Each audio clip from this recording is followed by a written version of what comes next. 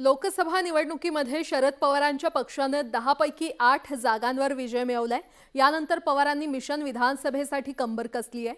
बदल घडवायचा असेल तर काहीही करून महाराष्ट्र राज्य हातात घ्यावंच लागेल असं म्हणत शरद पवार यांनी कार्यकर्त्यांना विधानसभा निवडणुकीसाठी कसून तयारीला लागण्याचं आवाहन केलंय.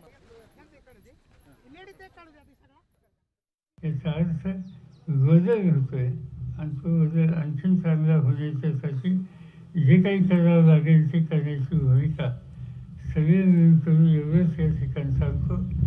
की तुमची एकजूट कायम ठेवा. तीन चार महिन्यांनी निवडणूक येणार आहे महाराष्ट्राची. आणि माझा प्रयत्न आहे काही झालं तर महाराष्ट्राचं राज्य हातात येईल. ते घ्यायचं असेल तर विधानसभा जिंकावं लागेल. पावसाचं आणि आपलं नातं असल्याचं म्हणत शरद पवार यांनी दोन हजार एकोणीसमधील लोकसभा पोटनिवडणुकीतील साताऱ्याच्या सभेची आठवण बोलून दाखवली. शरद पवारांनी दौंडमध्ये दुष्काळी भागाचा दौरा केला आणि यावेळी अचानक पाऊस झाला. यावेळी त्यांनी साताऱ्यातील सभेची आठवण बोलून दाखवली. आज काही भाग काही भाग या ठिकाणी मी व्यक्त करतो सांगितलं तो योगायोग खरा आहे तर दुष्काळाची पाणी करायला आलो आणि दोन तीन दिवस पाऊस करायला साधारणतः पावसाचं माझं काय नातं मला कळत पाच वर्षाच्या पूर्वी हे फार मोठी सभा माझी होती सातारा. ते सगळे मी भाषण द्यायला आलं की जोरदो चांगली गोष्ट आहे एकीकडे विधानसभा निवडणुकीच्या पार्श्वभूमीवर शरद पवार कामाला लागलेत तर दुसरीकडे एकदाच काय ते ठरवा आणि चर्चेचं गुऱ्हाळ थांबवा असं म्हणत महायुतीला तातडीनं विधानसभेची तयारी सुरू करण्याची सूचना छगन भुजबळ यांनी दिलेली आहे. आमच्या युतीतल्या पक्षाने एकत्रित बसून ह्या तिकीट वाटपाचा प्रश्न जो आहे काय? काय ऐंशी द्या नव्वद द्या आणखीन काय करायचं? काय करायचं ते करा.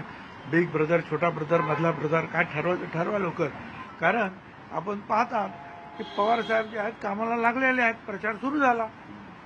ना तशा प्रचाराला तर आपण सुरुवात करावी लागेल. नाही आपण परत तेच तेच तेच तेच आपण बसलो आपण गुराळ करी चर्चेचं तर परत अडचणीत येऊ. कालही असं म्हटलं की कार्यकर्त्यांना नेत्यांना सारखं बूस्ट करण्यासाठी नेत्याने कसं आपल्याला चंद्र मिळणार आहे सूर्य मिळणार आहे असं मांडायचं असतं. तसं ते मांडतायत. तसं आम्ही पण मांडणार. लोकसभा निवडणुकीच्या काळात पंतप्रधान मोदींनी पुण्यातील सभेत शरद पवारांचा भटकती आत्मा असा उल्लेख केला होता. मोदींच्या वक्तव्यानंतर सुरू झालेल्या आरोप प्रत्यारोपांच्या फैरी अजूनही सुरूच आहेत. राष्ट्रवादीच्या मेळाव्यात देखील पवारांनी मोदींच्या टीकेचा समाचार घेतला होता. हा कायम राहणारा आत्मा आहे हा आत्मा तुम्हाला सोडणार नाही असा इशाराच पवारांनी दिला होता. तर दुसरीकडे सत्ताधाऱ्यांकडून आमचं सरकार आल्यावर गोरगरिबांचं मंगळसूत्र आणि म्हशी घेऊन जातील असा प्रचार केला पण तो आमचा धंदा नाही असं म्हणत पवारांनी टोला लगावला. त्यांनी काय? घटकचा माझा त्यांनी उल्लेख केला हा घटकचा आत्मा आहे. एका दृष्टीने वगैरे झालं. त्यांच्या म्हणण्याप्रमाणे आत्मा हा कायम राहतो. हा कायम राहणारा आत्मा तुम्हाला शोधणार नाही कारण तो कायम त्या ठिकाणी राहणार आहे. तुमच्या बायकोच्या घराचं मंगळसूत्र काढून असं ते बोलले. तुम्ही कुणी वाचताय का माहीत नाही अशा प्रकारची चर्चा त्यांनी केली किंवा त्यांनी शेतकऱ्यांच्या सांगितले. की आम्ही लोक सत्तेवर आले तर तुमच्या दोन म्हशी जाऊन येला तर जे म्हस काढून येते आता म्हस काढून येता काय धंदा पण हे कोण बोलतं? प्रधानमंत्री. प्रधानमंत्रीच्या पातळीवरची व्यक्ती या पद्धतीने बोलते. लोक अस्वस्थ झाले आणि त्यामुळे लोकांना ही अस्वस्थता मतदानाच्या दिवशी वतन दाबायच्या वेळ त्यांनी करून दाखवली. आणि तो निकाल या ठिकाणी झाला. आता पावसासंदर्भातल्या काही बातम्या पाहूयात. अंबरनाथ शहरात पडलेल्या अवघ्या एका तासाच्या